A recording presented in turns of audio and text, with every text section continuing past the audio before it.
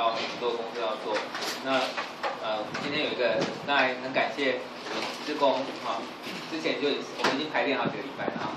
那那个呃来欢迎大家，因为这施工团就是以施工为核心来运作的一个团体。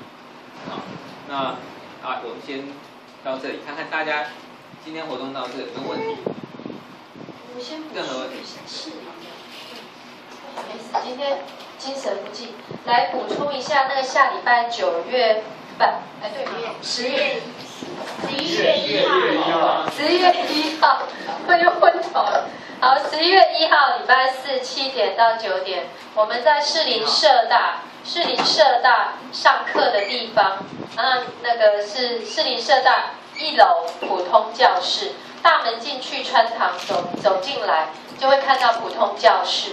嗯，那你可以坐你坐捷运坐到那个呃建潭捷运站，然后其实它的那个位置是在百灵高中，就在那个市里呃建潭捷运站附近。嗯，谢谢。这样子。四林社大就是百灵高中。对，百灵。他在百灵高中。对。就是以前那个。对。以前那个卖那个四林那个一大堆吃的那个那个旁边那个。对。车厂旁边。对。他本来是。本来是我们是礼拜四，但是刚好下个礼拜四有一个那个演，我们社区在办一个演讲，是尤国祥律师要演讲的，我们刚好是大家一起移到那边去，我们也会过去，全部人都过去那边。没有这样子。这样有清这样有清楚吗？对。那我们下一次上课的地点是在士林社大，下个礼拜四晚上。那我们是以施工为核心的团体，我们的课程是为了做施工服务来做的。那我们现在。最主要的活动就是我们要在各个社区大学，现在是各个社区大学，接下来会安排很多演讲、很多宣传的场合，那会有律师去讲，但是律师讲他还需要有施工做现场的施工行政，那我们下一次就自己去当听众，那你会看到我们其他的施工来做现场的行政，那你可以了解实际律师讲的状况，那也可以通过律师的讲解，让你更了解这个秋收案。请问那下个礼拜如果有新朋友要来，下礼拜也可以吗。是，因为我本来就是一个对外公开的演讲，但是但是我没有跟尤国强律师说，我们那一场呃是自工在，请他讲的那个呃深一点，好，那大家去一定会收获很多。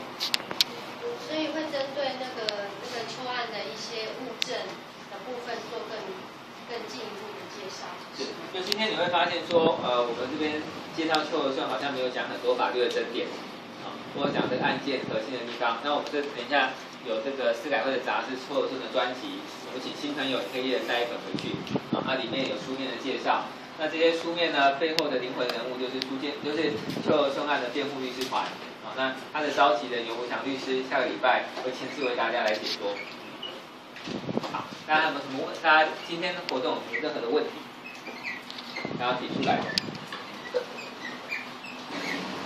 问他，看有没有意见。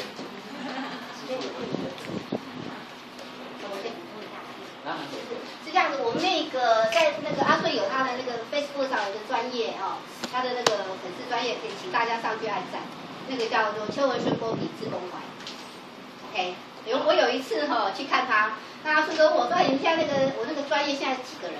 我说两百多个，然后他就，啊这样子，大家帮帮忙去冲人数，OK。好，那我问一下，不知道今天来。有没有跟你期待一样？有什么问题？这个这个是你你要不要讲一下你原来的期待是什么？原来期待不小，可能比较适应的如果有那学的话，我就可以这样。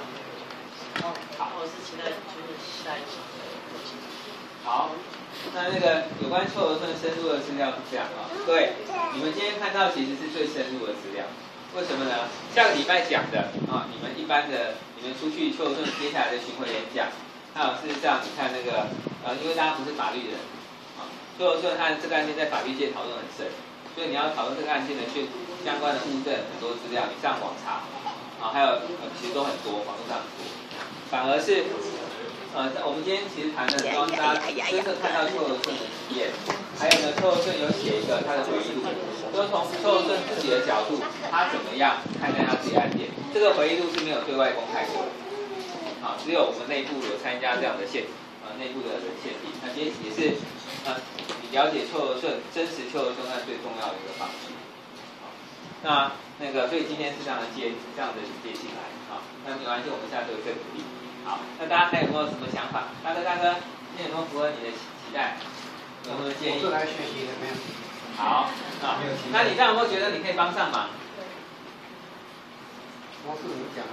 因为刚才我们讲的就是我们这间中间做的事，我们会去看秋和顺，我们会写信给他，好、那我们会帮他写信给别人，我们写给导演，写给呃主持人，好、那我们会帮他安排演讲，安排律师出去讲，好、然后我们接下来要做联署，帮他回信给国际的朋友，这些你其中有你会做的吗？还有网站。呃，试试看吧。好，好，好，好，来，有没有什么问题？你好，有没有什么问题？觉得可以？今天有什么问题吗？好，有没有？来看一下朋友，同学们有没有什么问题？好，那同学同学有没有？那你觉得让你回外国信，你可以吗？啊，你会几国语言？好，我们哈、现在你们正大的同学要拜托一下，帮忙找一下。我们来，我们那时候秋和顺有哪些国家去的？哦，英国、德国、瑞士、比利时、瑞典，呃，还有什么？法国、法国、法国、西班牙。西班牙、澳洲、瑞典，对，这是刚刚有泰国分会，还有泰文。好、所以呢，真的，呃，这一次那个因为全世界都会一起寄过来，啊、我们那个现在是几月啊？十月底了？好、我们下个月大家暖身，互相认识一下。接下来十二月，我相信邱和顺就会把里面他收到来自世界各国的信开始寄出来。好、那我们寄出来之后，我们就要分类，啊、记录、归档，然后开始逐一的回信。那有网友来，好、我们才可以让邱和顺这个呃这个运动，好、啊救救援邱和顺运动得到更多的关注。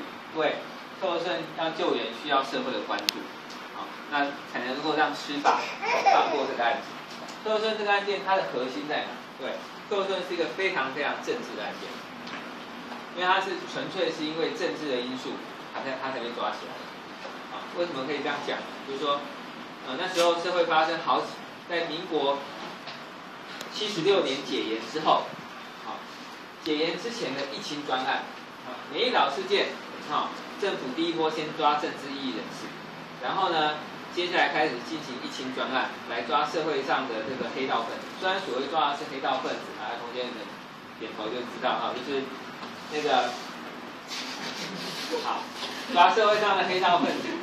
好，那为了是什么？其实啊，各位，自古英雄多出土狗辈，革命要靠黑道。好，所以社政府为了这个稳定社会，把黑道通通抓起来。抓起来之后，解严就把就把人放出来。所以放出来之后发生一件事，那时候有六千名的黑道大哥一口气离开监狱。所以呢，民国七十六年、七十七年，台湾发生了非常非常多件的掳人勒赎案件。其中小孩的掳人勒赎案件就五十几件，震动社会。啊，这是因为之前一个错误的黑道政策发生的。那其中最影响最大的就是陆正案，因为他爸爸非常有影响力，非常有权力，而且他爸很不能接受这个事情。那但是呢，一直抓不到那个绑架陆正的凶手，也抓也找不到陆正。啊，最最后迫不得已，警方跟这个呃政治人物，那时候内政部长都为此下台。所以呢，他们从监所里面找一个看起来，啊，你说他是绑架犯，大家会相信的，那个人就是邱和顺，啊，来顶这个罪，啊，而且不止他，找了十几个，啊，那这个案件经过了二十几年的努力，当初，啊，是六个死刑，十二个里面啊，通通被判有罪，那因为，呃，其中有一半是少年犯，啊。没有判死刑，那有六个死刑，六个死刑到现在二十三年打下来只剩一个死刑，就是邱和顺。可是呢，你邱和顺一旦你承认他是冤错判，你要去清算当年的这些啊、这些陷害他的人，而这些陷害他的人曾经也有包含行政署长、国策顾问啊、然后当过内政部长的啊、那非常重要的。政治人物跟现在第一线的实权人实权人物，所以这也是为什么邱德春案子没办法批判，而是而需要国际关心的原因，而且也这也是为什么国际会关心的原因。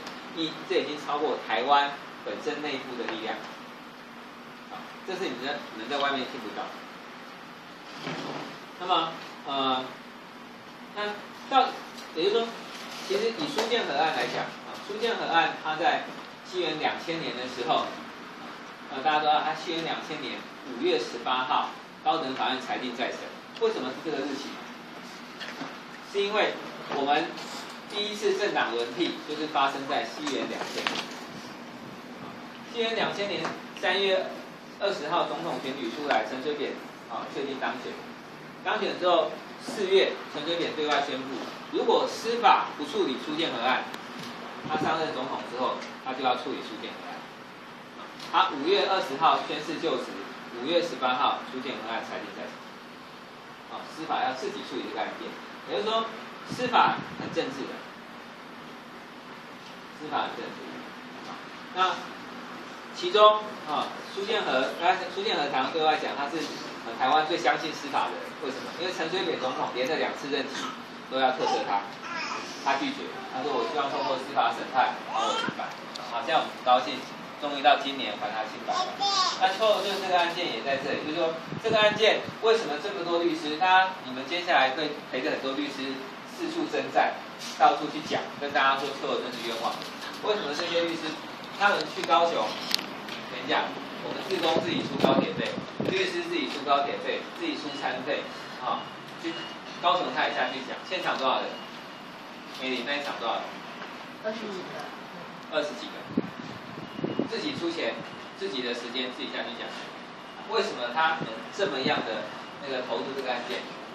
因为他很清楚这个案件，大家都他但他们非常清楚这个案件就是冤枉的，证据非常明显，啊，那。那他为什么下礼拜让他们跟你讲？啊，那我们这边他无罪的证据、卷宗等等都欢迎大家大家来看，我们都很开放。啊，那核心只是说，因为这是一个冤枉的案件，他没办法平反，是因为政治的关系。好，那那个呃，最后一点点时间哈，我们今天有一个非常重要的特别来宾，啊，就是那个小朋友的妈妈，对不对？那他。这个小朋友的出世呢，带给我一点点小小的困扰，因为。